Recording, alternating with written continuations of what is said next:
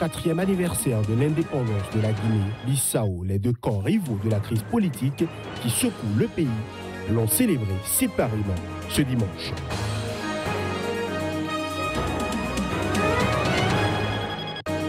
Au Cameroun, le parti politique PURS a organisé ce dimanche une conférence de presse. Il condamne l'inertie du gouvernement face à la crise anglophone et demande au président Paul Biya de ne pas se représenter en 2018. Au moins trois casques bleus de l'ONU au Mali ont été tués et cinq autres blessés gravement ce dimanche. C'était dans une attaque à l'engin explosif contre leur convoi dans le nord du pays.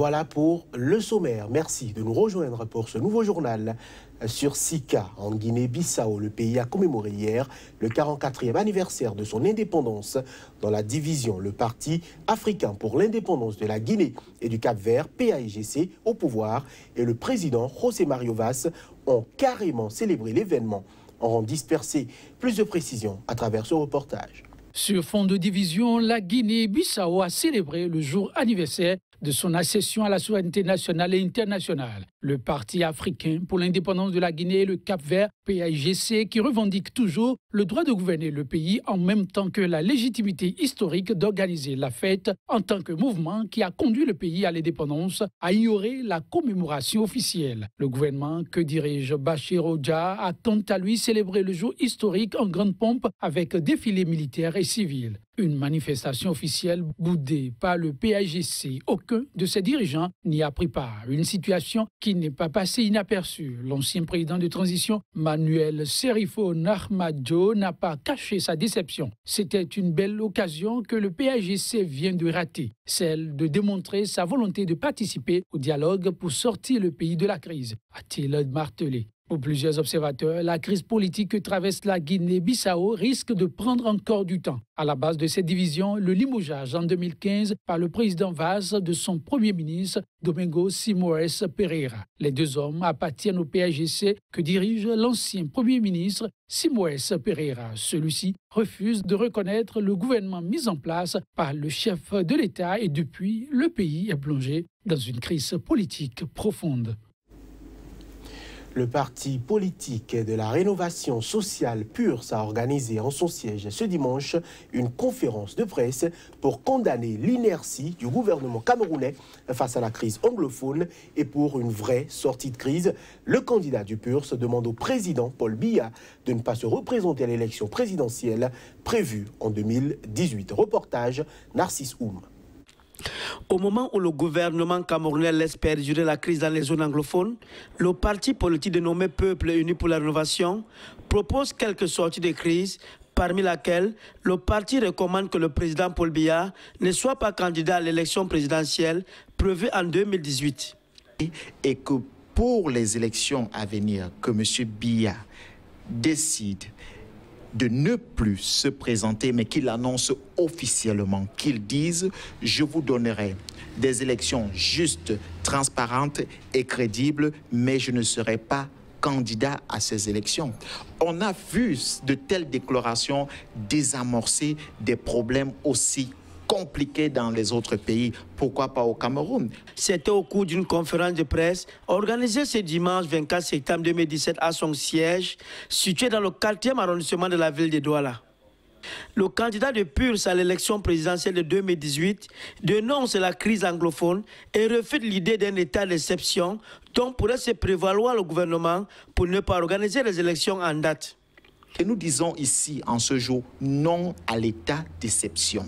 Parce que ce qui va se passer dans les prochains jours, c'est qu'on nous dira que le Nord-Ouest n'est pas à mesure de participer à une élection. Le sud-ouest, pareil. L'extrême nord, pareil. L'est, où les entrées euh, des anti-Balaka et autres aussi euh, euh, est constatée, pareil. Alors nous serons dans un état pratiquement ingouvernable.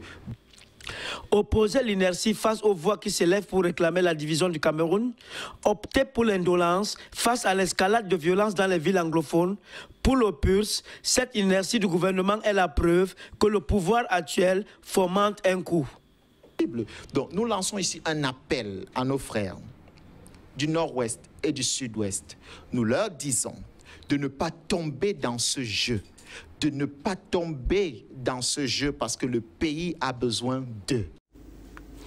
Antonio Guterres, qui recevait à New York le Premier ministre togolais, l'homme Klassou, a encouragé le gouvernement et tous les acteurs politiques à s'engager dans un dialogue constructif, et ce, dans le cadre de discussions sur les réformes institutionnelles et constitutionnelles. L'échange entre les deux hommes s'est tenu en marge de l'Assemblée générale des Nations unies. Le Togo connaît depuis quelques semaines une série de manifestations organisées par l'opposition pour demander le départ du président euh, Foria Singbe. Ce dernier est arrivé au pouvoir en 2005 à la mort de son père qui avait dirigé le pays durant 38 ans.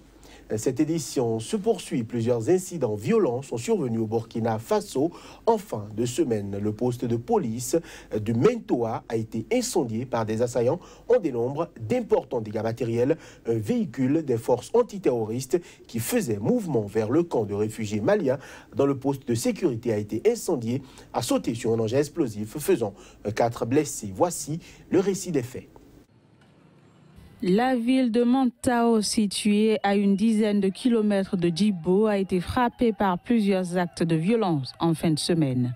Le poste de police de Montao a été incendié par des assaillants vendredi soir. Aucune victime n'est à déplorer, mais de nombreux dégâts matériels ont été enregistrés. L'attaque s'est soldée par la destruction du poste de police, deux armes Kalachnikov emportées et des motos brûlées. Autre incident survenu samedi, explosion d'un véhicule des forces antiterroristes qui faisait mouvement vers le camp de réfugiés maliens dont le poste de sécurité a été incendié. Quatre personnes ont été tuées, dont deux grièvement, selon le ministre de la Sécurité burkinabé. La charge a été actionnée à distance par les assaillants au passage du véhicule. Toujours dans la même province, quelques heures avant ces deux attaques, une personne a été tuée dans la nuit de jeudi à vendredi, augmentant ainsi le nombre des assassinats ciblés dans cette localité par des individus armés se déplaçant sur des motos. Je l'annonçais en titre, au moins trois casques bleus de l'ONU au Mali ont été tués et cinq blessés gravement ce dimanche dans une attaque à l'engin explosif contre leur convoi dans le nord du pays.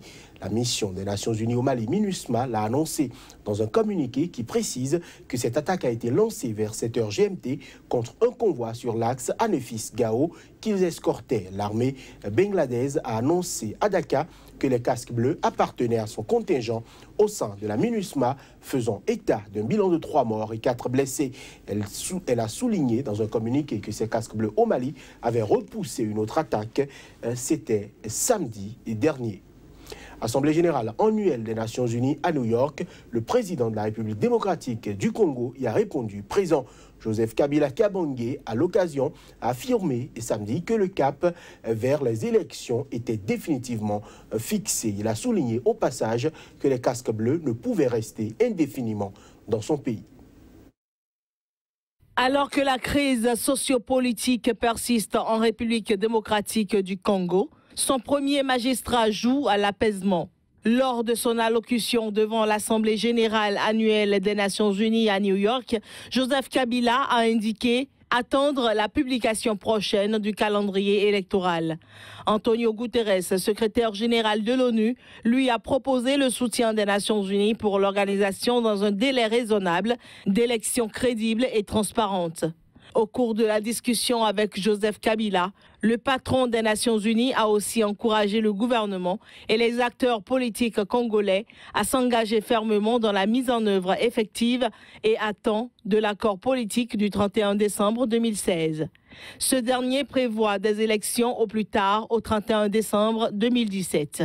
En effet, au terme de l'accord de 2016, la RDC est tenue d'organiser avant la fin de cette année des élections présidentielles, législatives et provinciales. Le second mandat de cinq ans de Joseph Kabila a expiré officiellement depuis le 20 décembre 2016 et la Constitution lui interdit de se représenter. Cependant, de nouveaux experts doutent de la possibilité de tenir des élections dans les délais impartis.